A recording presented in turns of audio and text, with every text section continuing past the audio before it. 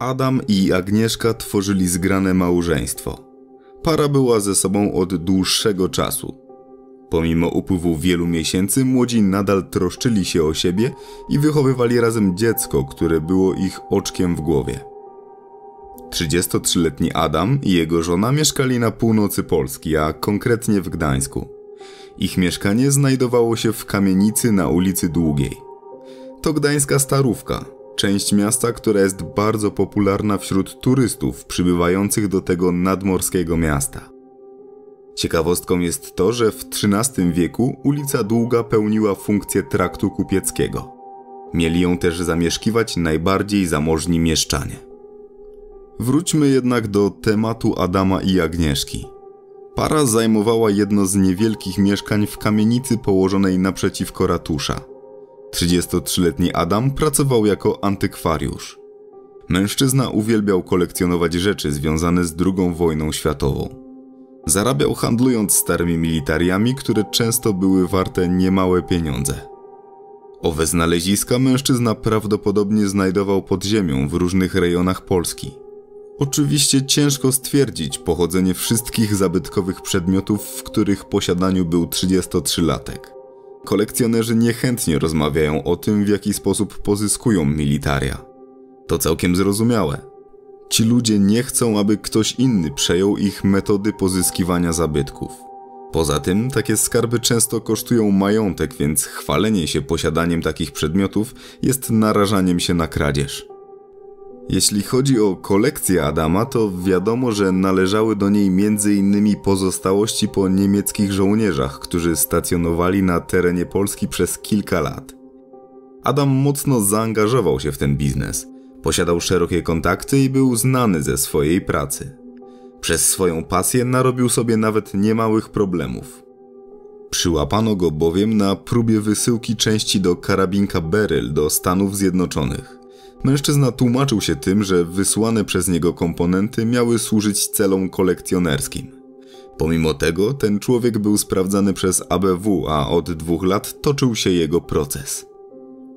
Jego żona Agnieszka była natomiast 3 lata młodsza, więc miała 30 lat. Kobieta prowadziła swój salon kosmetyczny. Według zeznań rodziny i przyjaciół Adama i Agnieszki, ta para tworzyła udany związek, a z ich mieszkania nigdy nie dochodziły odgłosy kłótni. Małżonkowie mieli córkę, 16-miesięczną Ninę, która była sensem ich życia. W zasadzie nic nie zapowiadało tragedii i mogłoby się wydawać, że tak dobrzy rodzice zapewnią swojemu dziecku świetlaną przyszłość. Niestety ich życie zostało nagle odebrane dnia 13 marca roku 2013. Dzień później, czyli 14 marca, do mieszkania Adama i Agnieszki przybył przyjaciel rodziny. Zapukał do drzwi, jednak nikt na to pukanie nie odpowiedział. Mężczyzna postanowił więc wejść do środka. To, co tam wtedy zobaczył, zmroziło jego krew w żyłach. Na podłodze leżały nieruchomo ciała Adama, Agnieszki i Niny. Natychmiast zawiadomiono śledczych. Komendant wojewódzki policji w Gdańsku powołał specjalną grupę dochodzeniowo-śledczą do wyjaśnienia tej sprawy. Przybyły na miejsce lekarz stwierdził, że trzyosobowa rodzina zginęła od ran postrzałowych. Do 33-latka i jego żony oddano dwa strzały z broni krótkiej. Ich córka zmarła natomiast od jednego pocisku. To tragiczne wydarzenie zostało nagłośnione przez media w całej Polsce. Wiele osób zastanawiało się, kto mógł dopuścić się tak strasznego czynu. Podejrzewano, że w Gdańsku znowu doszło do porachunków gangsterskich. Całe zdarzenie wyglądało bowiem na zabójstwo na zlecenie. Zakładano, że do kamienicy przybył mafijny killer, który nie mając żadnych skrupułów, w krótkim czasie pozbył się całej rodziny i nie zostawił żadnego żyjącego świadka. Ustalono, że z domu państwa K zniknęło sporo zabytkowych rzeczy należących do Adama. Zniknął komputer, aparaty fotograficzne oraz telefon Agnieszki. Nieoficjalne źródła mówią jednak o tym, że pomimo tego, iż sprawca zabrał z domu trochę kosztowności, to nie wziął dosyć dużej ilości gotówki, która tego dnia była w mieszkaniu. Rozwiązanie sprawy morderstwa tej młodej rodziny w pierwszych godzinach śledztwa nie rokowało zbyt dobrze. W mieszkaniu nie pozostawiono zbyt wiele śladów. Śledczy znaleźli tylko trzy łuski, które zabezpieczyli. Ponoć widok martwego małżeństwa i Niny był tak przygnębiający, że nawet doświadczeni policjanci opuszczali miejsce zbrodni ze łzami w oczach. Jedno było pewne. Jeśli dokonał tego morderca na zlecenie, to jego odnalezienie mogło okazać się bardzo trudne lub nawet niemożliwe. Ludzie trudniący się tym zajęciem wiedzą, jak zacierać ślady, wtapiać się w otoczenie i znikać niczym cienie, nie alarmując postronnych osób. Policja przesłuchiwała sąsiadów państwa K, jednak nikt nie miał pojęcia, co mogło zdarzyć się w mieszkaniu Adama i Agnieszki tego feralnego dnia. Nikt nic nie widział, nikt nic nie słyszał. Kiedy wydawało się, że śledztwo utknęło w martwym punkcie, to śledczy wpadli na bardzo konkretny trop, który doprowadził ich do podejrzanego.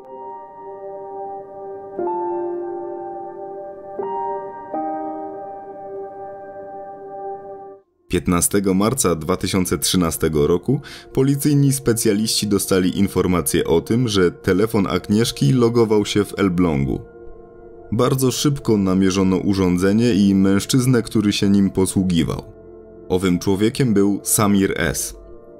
Samir urodził się w Baku, stolicy Azerbejdżanu, jednak posiadał obywatelstwo rosyjskie i to właśnie w Rosji dorastał.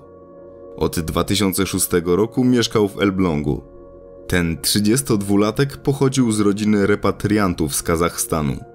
Jego dziadek został sprowadzony do Polski w latach 90. ubiegłego wieku. Wiadomo też, że w Polsce przebywała także matka oraz siostra Samira. Kobiety trudniły się handlem na bazarze w Elblągu. Jeśli chodzi o podejrzanego o morderstwo mężczyznę, to udało się ustalić, że jako dziewiętnastolatek został on wcielony do armii rosyjskiej, jednak po dwóch miesiącach zwolniono go ze służby. Powodem było to, że ten młody chłopak nie był w stanie opanować przygotowania bojowego. Niedługo potem Samir znalazł się w Polsce. Przebywał w naszym kraju legalnie i posiadał kartę Polaka. Oficjalnie opiekował się też swoją starszą babcią, która była narodowości polskiej. Kobieta po jakimś czasie zmarła. Dziwne było to, że mężczyzna został wyrzucony z armii, a jego największą pasją były właśnie militaria. Mężczyzna uwielbiał przebierać się w mundury i kolekcjonować różne przedmioty związane z wojskiem. Można by stwierdzić, że czerpał z tego pewnego rodzaju siłę. Zawsze nosił przy sobie nóż lub broń gazową. Policja dotarła do informacji mówiących o tym, że ten młody mężczyzna był już kiedyś karany. W 2011 roku Samir przebywał w kolonii karnej w Kaliningradzie. Skazano go na 10 miesięcy więzienia za nielegalne posiadanie broni. Pomimo tego, że mężczyzna w Rosji miał niezbyt dobrą reputację, to jego polskie sąsiadki wypowiadały się o nim raczej pozytywnie. Było to trochę dziwne. Samir był bowiem typem dziwaka. Chodził po mieście i opowiadał ludziom niestworzone historie. Nigdzie nie pracował, nie miał żony ani samochodu. Był miłośnikiem kotów.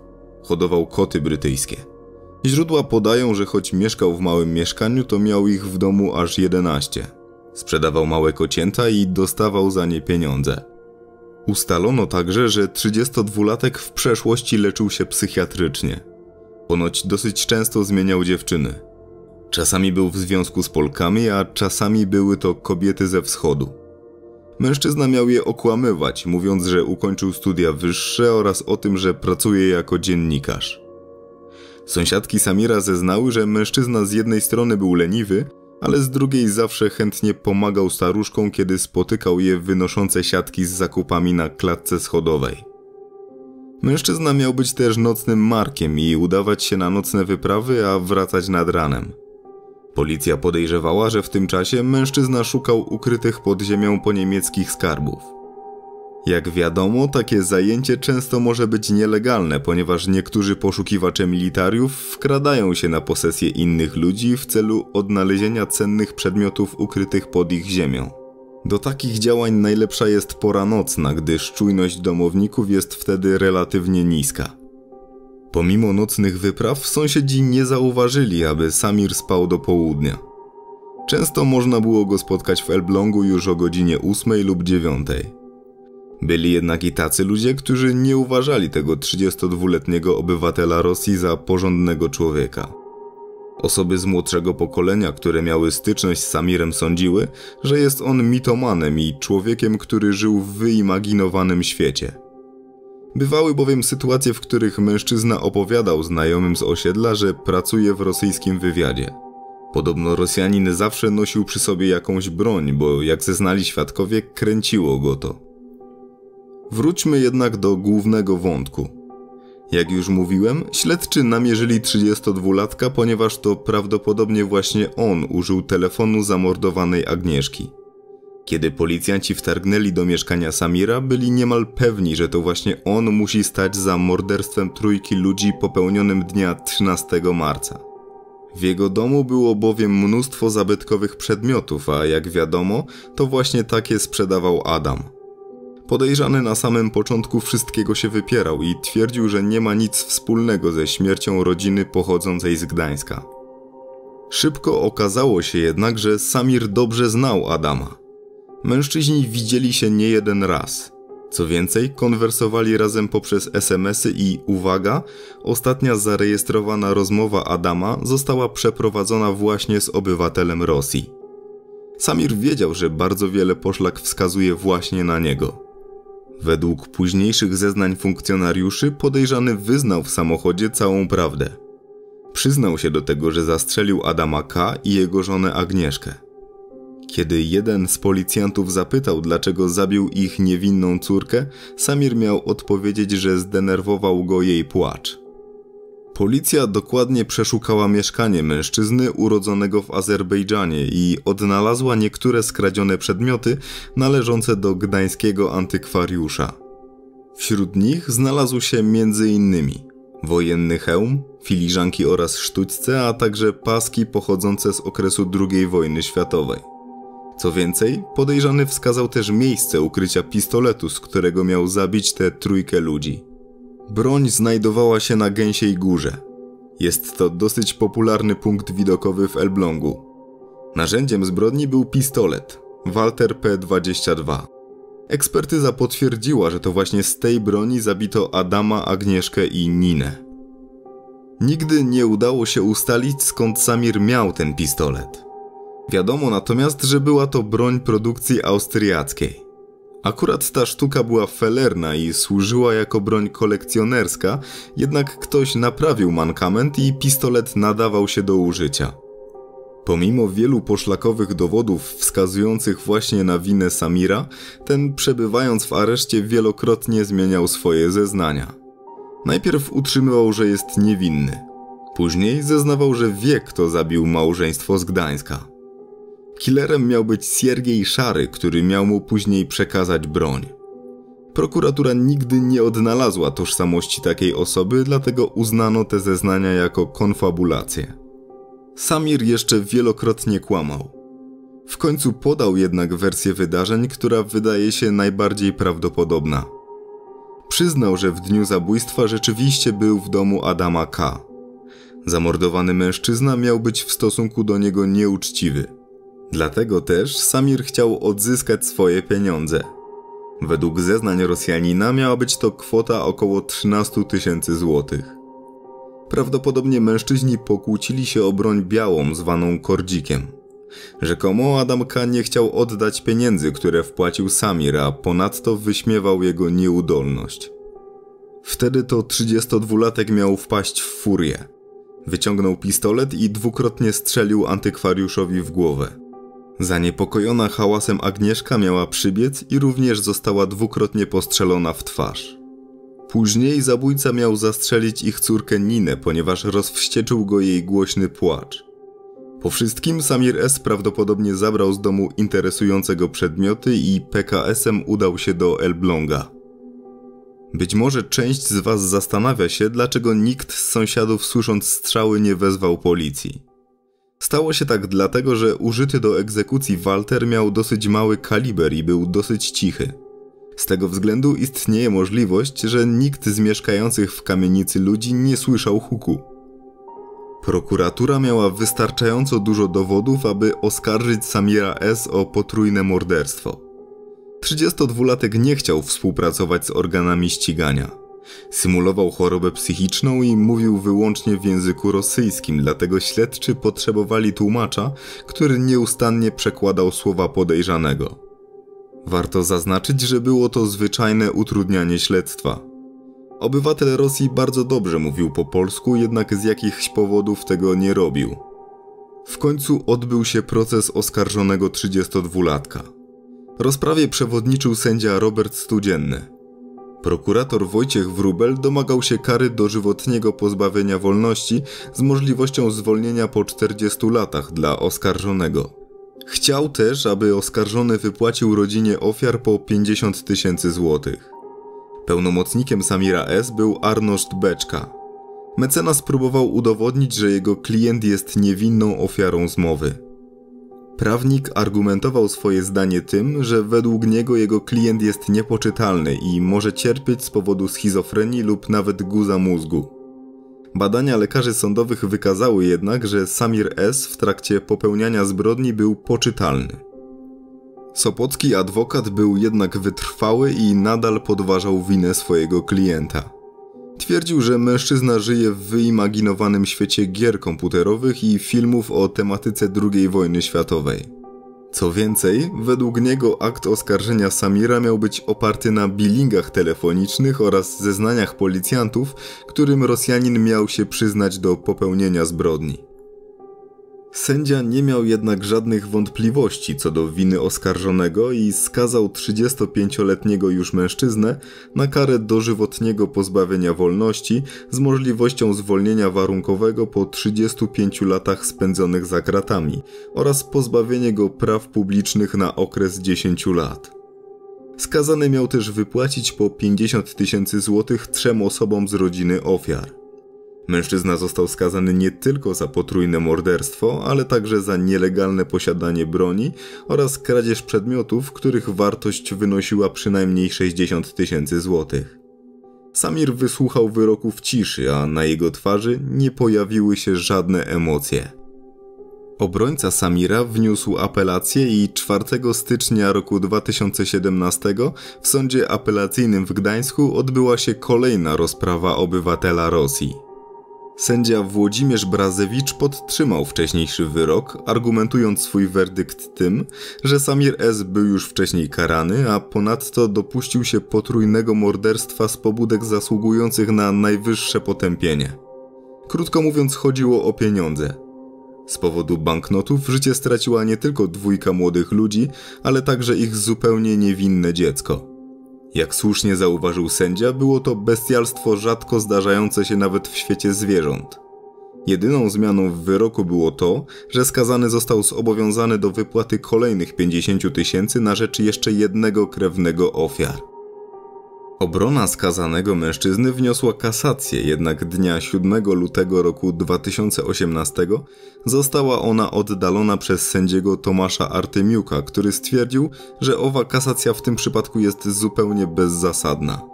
Wyrok jest ostateczny, dlatego Samir S. jeszcze przez długi czas nie będzie mógł starać się o zwolnienie warunkowe. Sprawa teoretycznie została rozwiązana, jednak pozostało kilka pytań bez odpowiedzi.